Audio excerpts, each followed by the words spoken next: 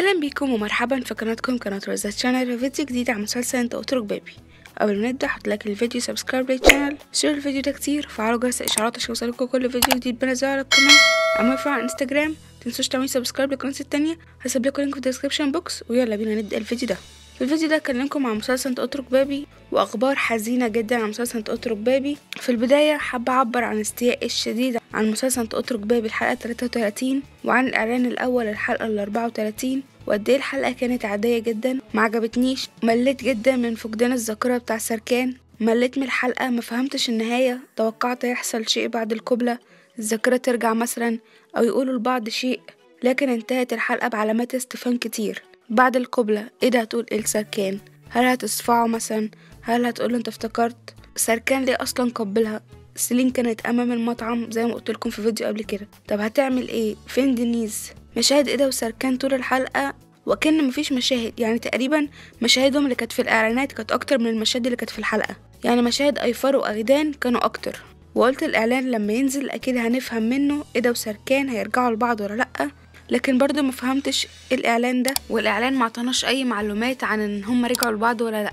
يعني بجد مستاء جدا وحزينة عن اللي بيحصل في المسلسل ده. المهم بعد عرض الحلقة بننتظر تاني يوم عشان نعرف نسبة المشاهدة وأنا قلت بعد الحلقة دي أكيد نسبة المشاهدة هتكون منخفضة جدا وفعلا ده اللي حصل. الحلقة 33 حصلت على نسبة مشاهدة 3 علامة 61 وفارق عن الحلقة ال 32 بنسبة مشاهدة صفر علامة 17 ممكن يكون مش انخفاض كتير لكن إحنا وصلنا لنسبة مشاهدة تلاتة ودي نسبة مشاهدة سيئة جدا.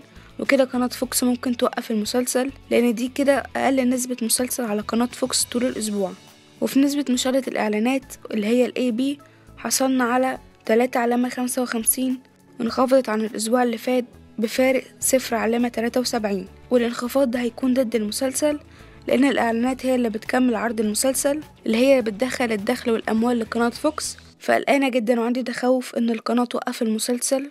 لأن قناة فوكس بتهتم بالإعلانات أكتر ما بتهتم بالمسلسل ولما الفئة بتاعة الإعلانات تقل يبقى إيه اللي فاضل؟ وأيضا الصحفي الرجل الذي يهمس اليوم قال قناة فوكس سوف تنهي الموسم الأول من مسلسل أطرق بابي خلال أسبوعين أو ثلاثة بالكتير وتعود بموسم جديد لاحقا أو بسبب نسبة المشاهدة سوف تنهي المسلسل بشكل تام.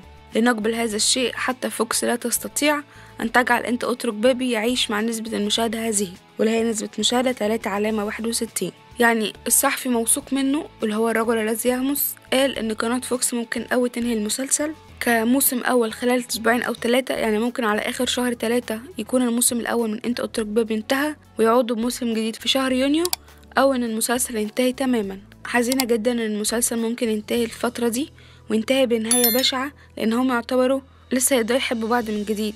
طب إيه القصة في كده؟ أما في نسبة مشاهدة الإنترنت حصل مسلسل أترك بابي على المركز الأول كالعادة بالنسبة للمسلسلات وبرامج يوم السبت وحصل على مليون ستمية تسعة وستين ألف ستمية وتمنتاشر صوت. وفي المركز التاني كان جبل جنول حصل على تسعة وعشرين ألف تسعمية وتمنتاشر صوت.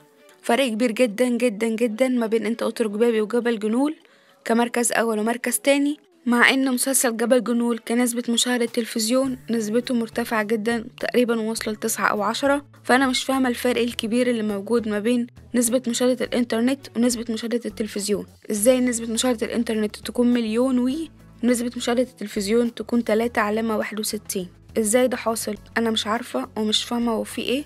كده أتوقع إن قناة فوكس ممكن توقف أنت اترك بابي وتعرض مكانه مسلسل المحارب. اتمنى الحلقة الجاية تكون قوية جدا وتجيب نسبة مشاهدة قوية ومرتفعة والذاكرة ترجع بقى عشان القناة تكمل عرض مسلسل تترك بابي وما توقفوش وتجيب مكانه مسلسل المحارب وبس كده ده الفيديو انتظروا كمان شوية هنزل تحليل أحداث الإعلان الأول. اكتبوا رأيكم في ال comments لو عندكم أي سؤال أو استفسار اكتبوا في ال comments وأنا هرد عليكم. بس كده يكون الفيديو خلص متنسوش ال like وال share وال subscribe. تفعيل جرس الإشعارات عشان يوصلكوا كل فيديو جديد. بنزله على القناة. bye bye.